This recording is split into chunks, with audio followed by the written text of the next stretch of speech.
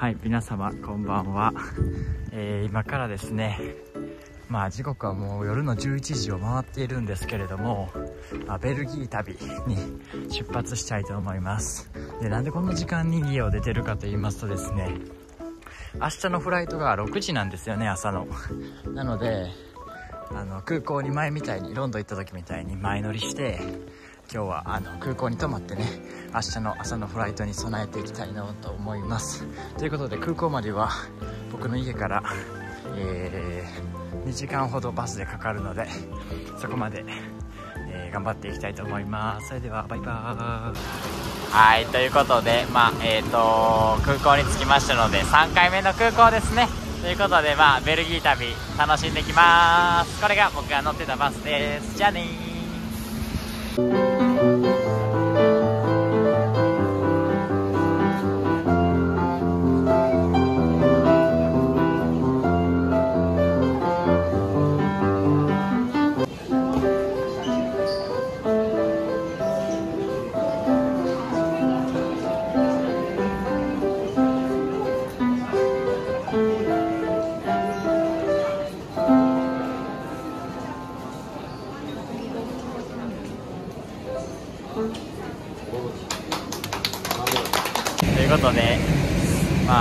天気はかなり悪いんですけれども、まあ、ベルギーに着いたらね、いい天気であることを祈ってね、早速今日は、えー、エアリンガスという機種を使って乗っていきたいと思います。前ロンドンの時はね、あのー、ランエアーというね、ものだったんですけれども、今日はもう一つのアイルランドの代表的な飛行機に乗り込んで、ベルギーに行ってきたいと思います。それではベルギーまで、バイバーイ。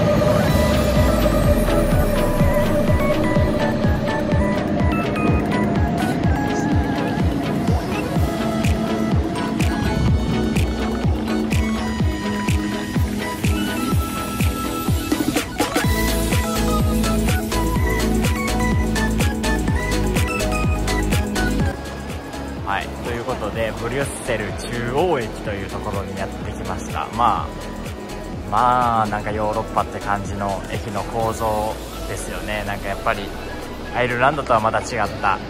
えー、楽しみがありそうです。ということでまあ今からね観光名所に向かっていきたいなというふうに思います。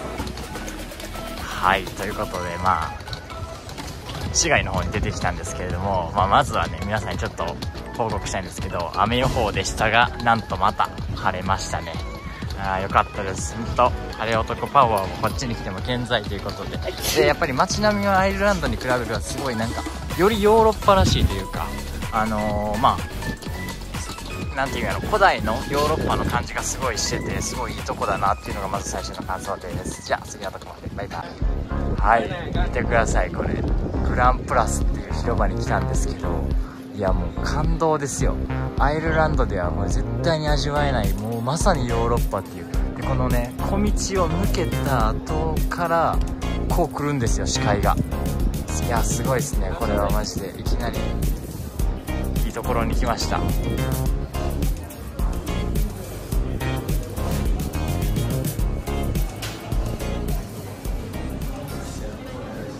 Hi, can I ask you a favor? Can I eat your recommendation of the waffle?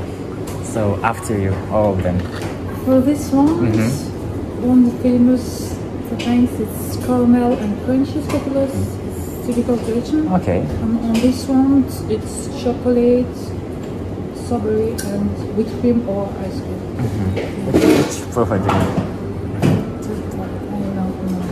This one is more light and crispy, and this uh -huh. one is more sweet ah. and soft. So I don't know what you want. So you okay, I want it crispy. Crispy? Yeah. So the topping is up to you. Chocolate, strawberry, and do you prefer whipped cream or vanilla ice cream? Ah, mm, vanilla ice cream. Mm. はい、ということで、まあ、オーダーを完了したわけですが、まあ、 ちょっと無茶ぶりを言わせてもらって、まあ、全部お姉さんのお任せでって言ったんですよね。そしたらもういちごとチョコと粉砂糖とアイスクリームっていうもう完璧な黄金な組み合わせが来たので今から食べていこうかなというふうに思います。なんか頼んだのはなんか柔らかいやつと柔らかいワッフルの生地とあのクリスピー生地があるんでどうしますかってなんかドミノピザみたいなこと聞かれたんですけど、あのせっかくなんでクリスピーにしてみました。ドミノではクリスピーが好きなんで食べにくいですけど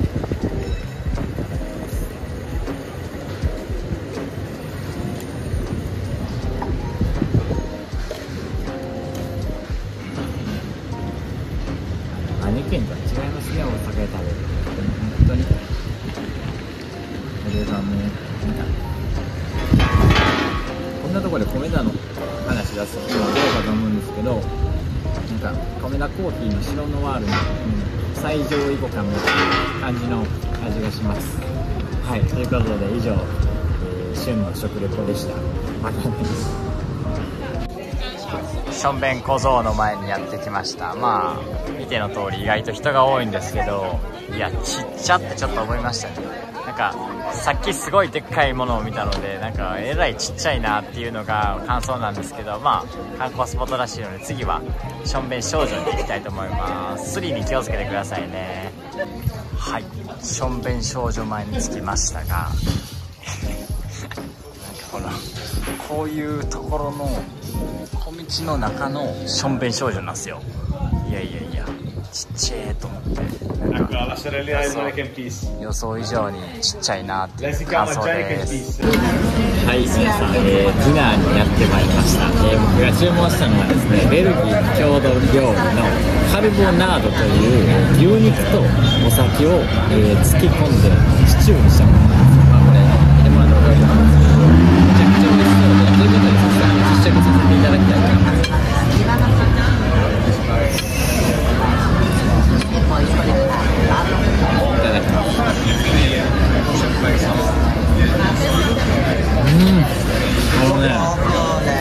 た瞬間もうなんていうの美味しいっていうのが伝わってきて日本でいう、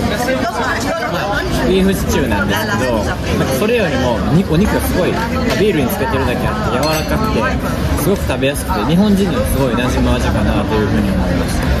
で、えー、と僕の友達が頼んだのがうさぎのお肉らしいんですけどこれもまた後ほど感想だけをつけておきます。それではまたねはい。でちょっと今からあのーグラン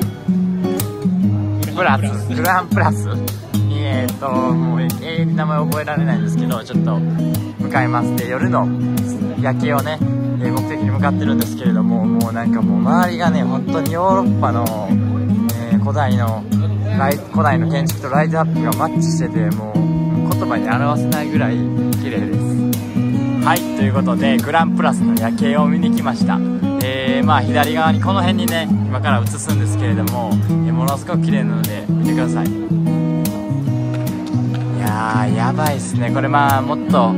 今ねちょっとカメラの性能的にこれが限界なんですけどあのもっとオレンジ味がかかっててねカメラで見るよりももっと綺麗です。あのー、綺麗に撮れた写真があるのでそれを載せとくのでそれをご覧ください。えーベルギーに来たらね絶対に1回は来てほしいポイントなのでもしベルギー留学ベルギー留学とかアイルランドからベルギーに旅行したよっていう方はぜひこの夜景を目に焼き付けてから帰るようにしてください。じゃあね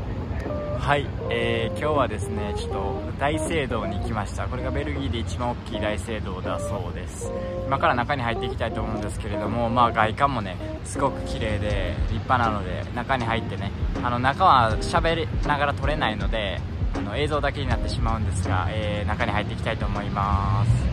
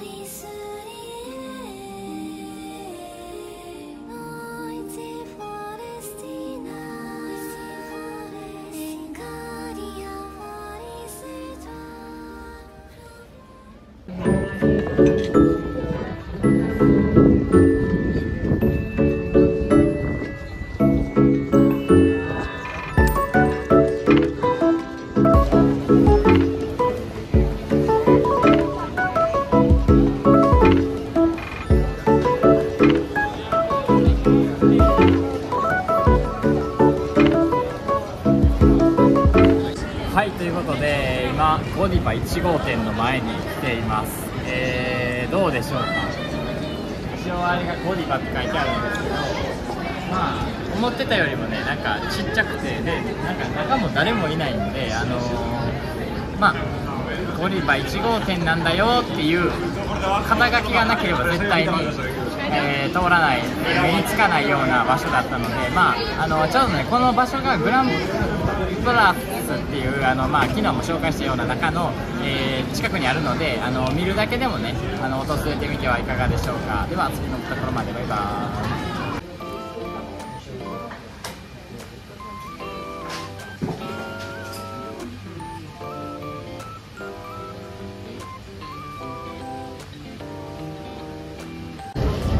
ということで、ベルギー2店舗目のワッフルを食べにやってきました。えー場所はね、あの昨日見たあのグランプレスっていうグランパグランプラスっていうあの場所の近くなんですけれども、えー今日僕がオーダーしたのは、えーチョコと、えー粉砂糖と普通のワッフルっていうもう一番シンプルなものを、え今日は、えー用意しました。え昨日はね、いちごをね、えかけた豪華なやつだったので、ちょっと苦しかったので、今日はシンプルめに、えしました。ということで、早速いただいていきたいと思います。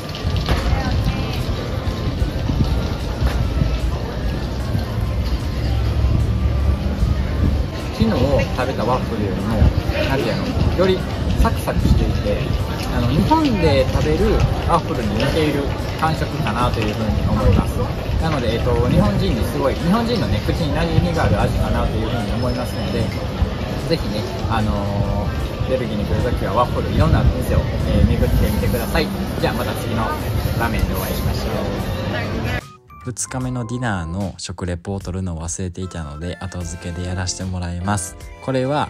えー鶏肉の、まあ、焼き鳥みたいな感じのメニューだったんですけれどもすごくお肉が柔らかくてとても美味しかったです。でご飯とかサラダとかすごく日本の、えー食卓のようなメニューでとても美味しかったです。ベルギーはたくさんいろんなものが美味しいので観光に来た際は、えーぜひいろんなものを食べて帰ってみてください。以上食レポでした。以上が Day1、Day2 のベルギー Vlog でした、えー明日からもね Day3、Day4 とありますのでぜひ明日からもご視聴ください。この動画がいいと思ってくださった方はチャンネル登録と高評価の方もよろしくお願いします。普段はアイルランドのことを挙げていますがたまにヨーロッパに旅行する際はその国のいいところや Vlog を上げていきたいと思っていますのでこれからもご視聴の方よろしくお願いします。それではまた Day3、Day4 の動画でお会いしましょう。See you later! バイバーイ。